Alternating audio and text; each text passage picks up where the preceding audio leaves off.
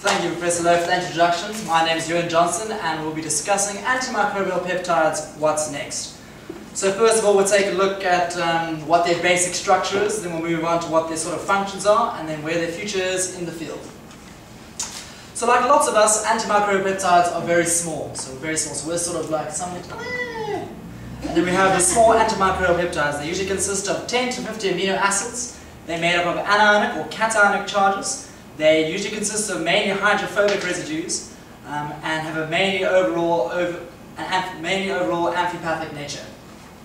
Uh, they're involved in the innate immune response, meaning that they react in a non-specific way to pathogens.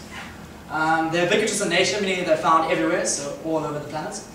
And from they are found from the smallest prokaryotes to the most mighty uh, eukaryotes, like the human. Um, and then they have a wide range of targets. Due to their sort of uh, ability to induce pores in the membrane, they can attack almost anything. So let's move on to the four types of antimicrobial peptides. First of all, we have the anionic peptides. These characteristically contain large amounts of uh, aspartic or glutamic acids. Um, an example is dermcidin, which is found in the mucous membranes of the skin, or in, in fact in the mouth, and it's used as just a general antibacterial. Number two is the linear cationic alpha helical peptides. Uh, these uh, characteristically lack cysteine residues. An example is the cecropins, which are found in uh, lots of insects, like the fly here, and uh, they usually use it in the gut and uh, in the mouth as a general antibacterial.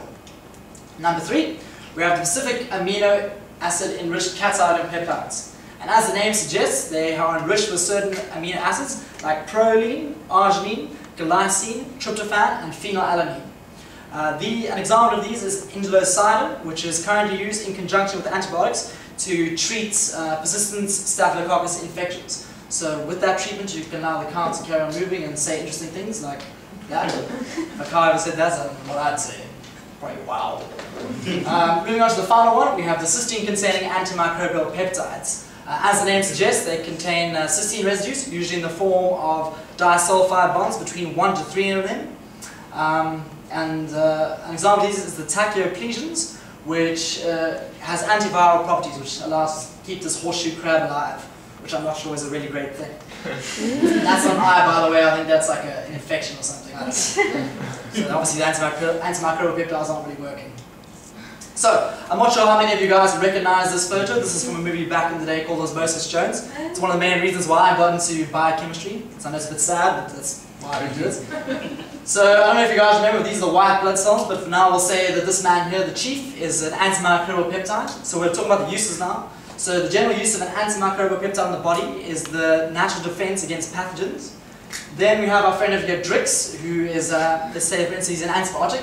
Him and the main character, Osmosis Jones, come into the body and work together to help defend against um, pathogens. So they work together from outside and come in.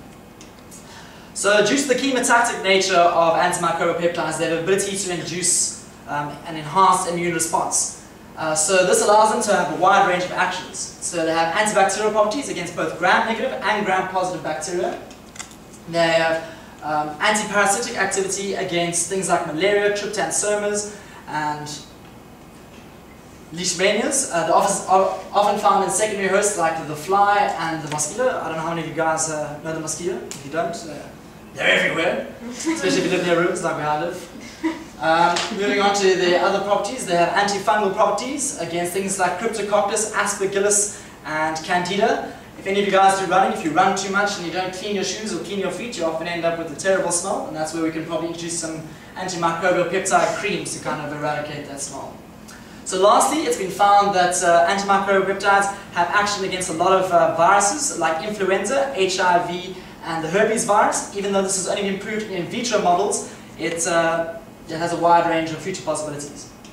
Um, so they've also, so more excitingly, they've been found that they have anti-cancer properties. Due to the disproportionate amount of negative charges on the cell surface, they can be used to um, eradicate, so, to, so they, uh, cancer cells have become a target of antimicrobial peptides.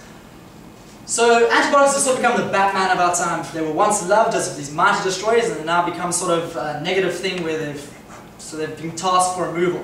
So antimicrobial peptides have been suggested as a viable alternative.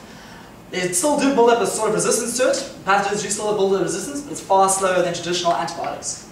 So in conclusions, they're found everywhere, they're involved in the innate immune response, they can target a wide range of pathogens, and they have future possibilities of treatments of viruses, persistent bacterial infections, and possibly cancers.